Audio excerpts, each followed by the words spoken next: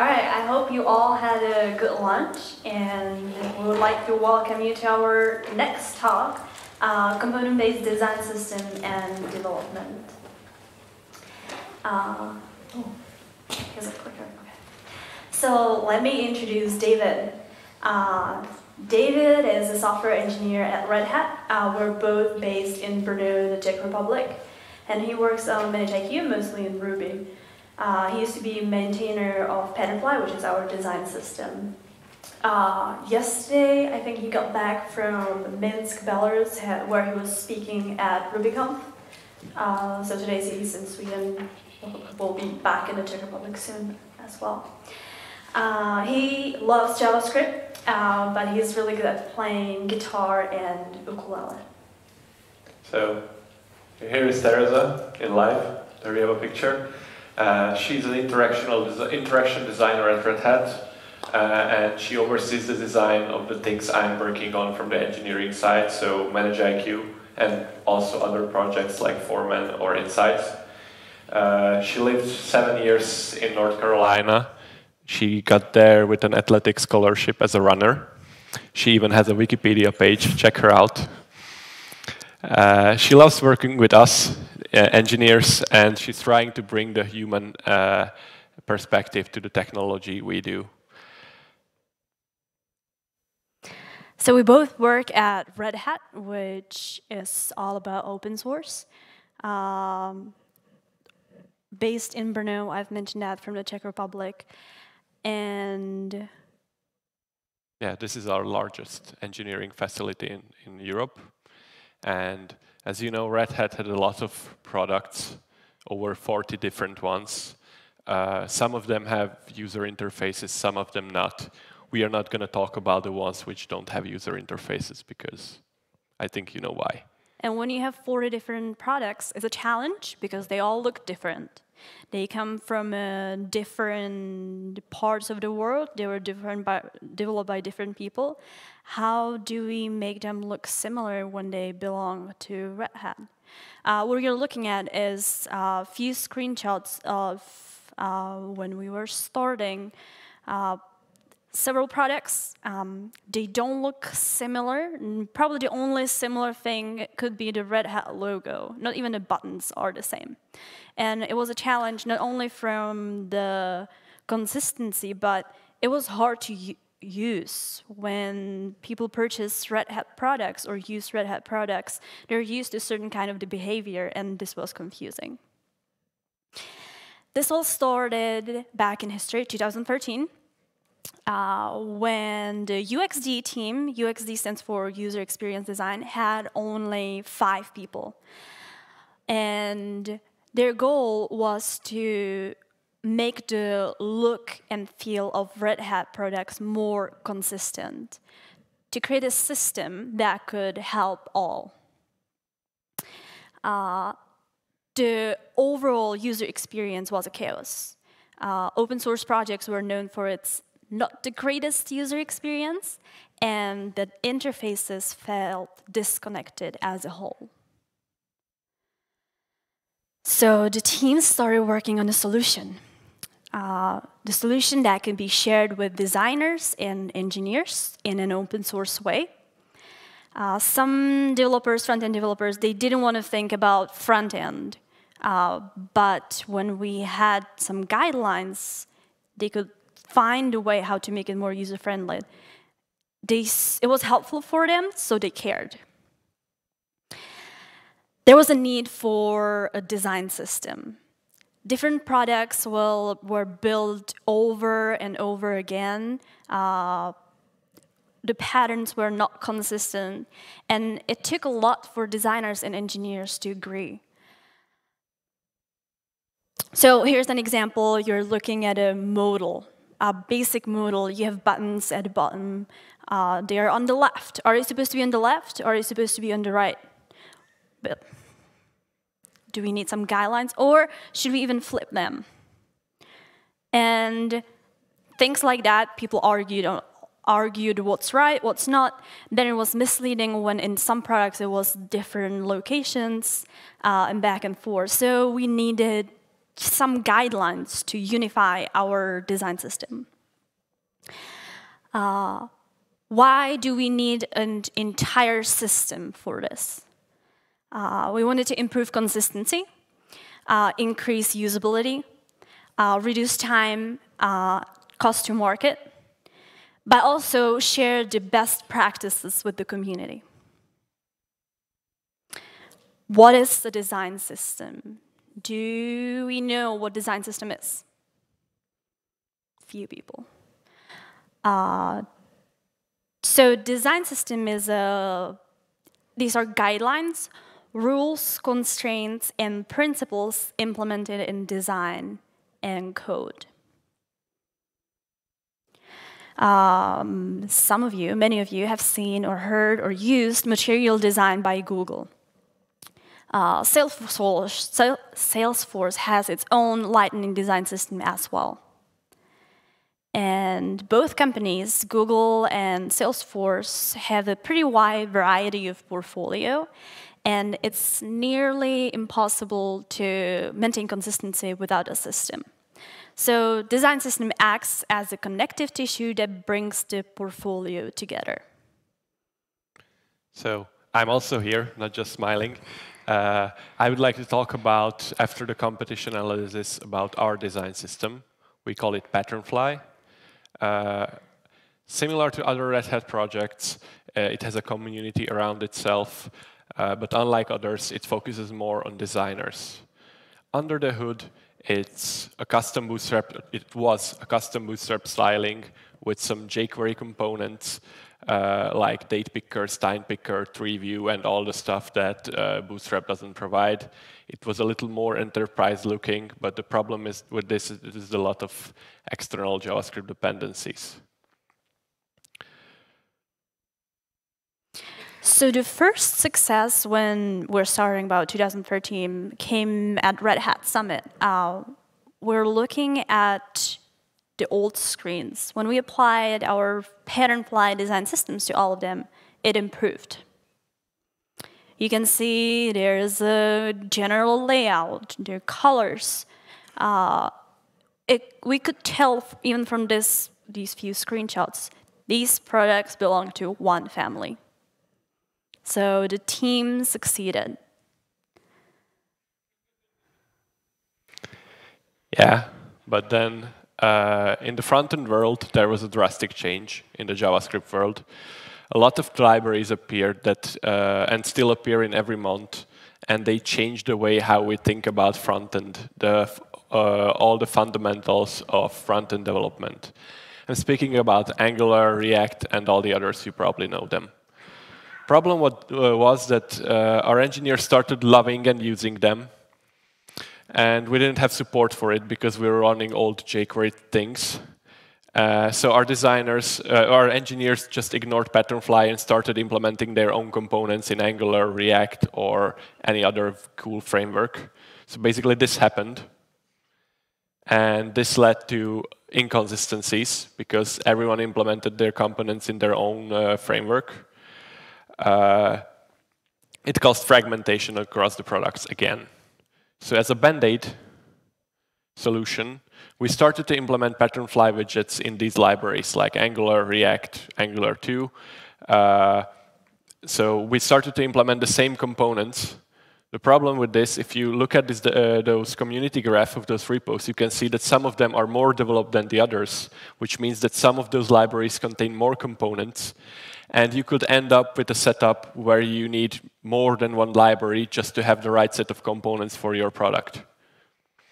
So we learned what, that we need a universal solution, which is a little megalomaniac, right? So as you can see here, usually finding a universal solution that helps everyone in the world is not possible. Uh, we just wanted something suboptimal that would help our things. So we came up with components, components, and components. We realized that we cannot swim against the current, uh, but by splitting up Patternfly into smaller pieces, it can be easier to react, pun intended, to changes. So our plan was this. We wanted to remove uh, all JavaScript from the core repo, have just a pure CSS library with all the look and feel. split up Patternfly into atomic, very small components that behave like a mini repository. So there are, uh, people can just uh, include the libraries they want and they need to use.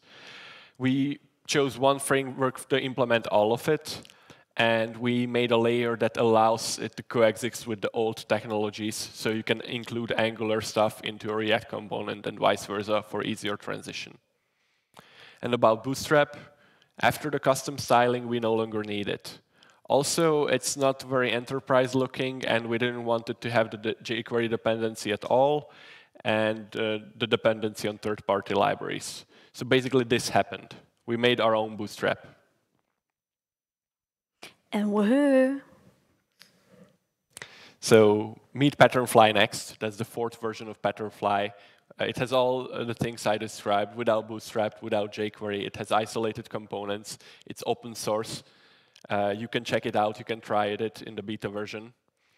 And the development model now looks like this. So there is a thin layer of uh, CSS styling grid and grid system, which is developed fully by the UX team. Uh, there are some atomic components like buttons and uh, drop downs and all those little pieces that you can Lego together to build something bigger, also developed by UXD because they are so shared across pro products. Then the UXD team and the engineering is working together to make more complicated components by putting together those atomic components. And the engineering is using those components on the higher level in their own products.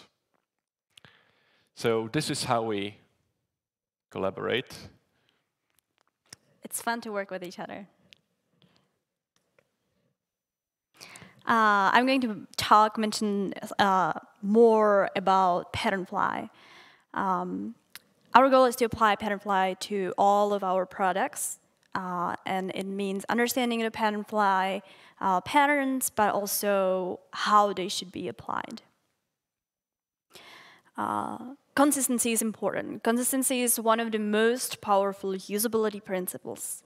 When things always behave the same, users don't have to worry about what will happen. Uh, and if we are using the components over and over again, we can eliminate the confusion and make it easier for the user. Uh, so we can end up having a consistent behavior and patterns uh, and build the application more quick, quicker. Uh, so what we are looking at is a basic component. Uh, this component is reusable. When we have many of them, we have a lot of components that can be assembled together and we can build with them. Go back. We're still building with the component. Uh, one component doesn't build a product, but when we have many of them and we take care of them, we can build a castle. And we can even build more castles with the same component, and the users or the people who live in the castle, who use the castle, are going to know that we can have four of them. They will know that there is a behavior where we kind of uh, kitchen, but also that we can find a horse stable and it's going to be the same way, the same behavior, and that's what consistency means for the user. Uh, so UXD started, our team started with five brave people in 2013. Uh, there was a need for more people uh, to work on our product, and we grew exponentially. Right now, it's about 100 of us. Uh, and we are working together with engineering teams to create and build successful products.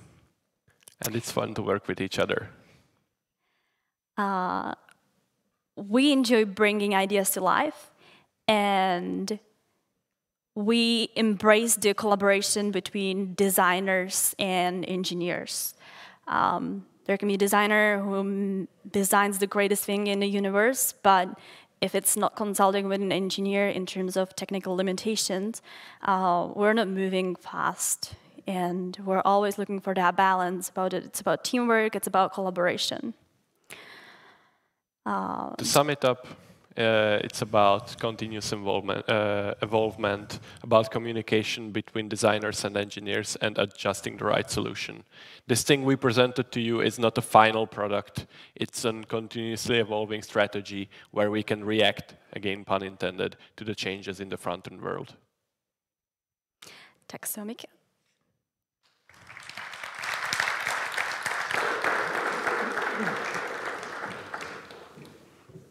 So, any questions in the audience? If you don't have questions, we do. You already have microphones. I see three questions. Let's start here. Uh, so is this only about uh, web-based components or does it also apply for the desktop or desktop-based applications? Or even mobile applications? Well, uh, components now with React Native and I don't know, Angular has something similar and Electron and all the things from the web actually appearing in the desktop and the mobile applications. I think this can be universal. But in Patternfly, we support only web-based interfaces, yes. So where were the other two questions? Here's one. you mentioned that the design system is open source and community based. Uh, so how easy is it for, uh, let's say, a company to adapt to the design system and use it for their own? Uh, so we have a pool of variables that are customizable. If you mean this part, that how you how you will tailor it for a for a company. Yeah. So we have we have one version is what what is for the community part, and we have a set of CSS or Sass libraries for our own things with our own assets and that's how we compile it separately. Great. You can write your own and use it with Patternfly, no problem. Uh, yeah, so I was just curious, like the applications that you have that are based on Bootstrap and kind of the older versions, uh, how are you moving them into using this new system? Like, are you actually changing those into React, or do you have some way of applying that to, like, do you have some kind of, you know, using the CSS with Bootstrap-based projects or? Yes, so we are trying to get rid of Bootstrap. So all the pieces are like puzzles. So you can take out the piece of the puzzle and put the new component uh, in the new place. Uh, we tried to make it so compatible that it would work. So we're building the CSS variables and then building, moving that into the actual React components. So and you can load the old library and the new library into the same code base at the same time. They are compatible but in this sense. Still has the same look and feel. Yep. Any more hands? All right, I'll ask a question. Is anyone here who uses a living design system? Can you share more? Do you have questions? Would you like to use Patternfly? Well, can you say uh, at SUSE we have something similar? So, but I, I, don't know. I mean, I'm not in the design team. I'm in the, the, coding team, so I just know know about it. And we've used it for one project in particular that I'm working on. That we moved from, you know, it was it has its own had its own style. It was a Rails on uh, Ruby on Rails app, and we moved to using that kind of common framework. Uh, but it's still we're still using Bootstrap. And so it's kind of, yeah, we're, we're looking at it and taking the CSS and copying, but we don't have any way of like systematically moving components over uh, to the new design system. So that's why I'm curious if you had some, some experience in that.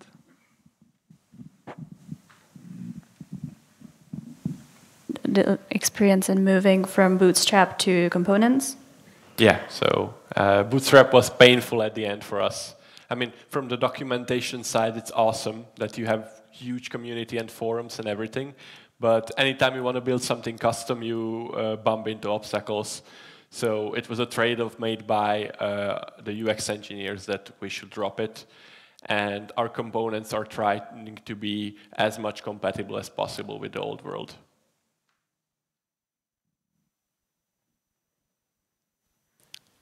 I think she has more questions prepared.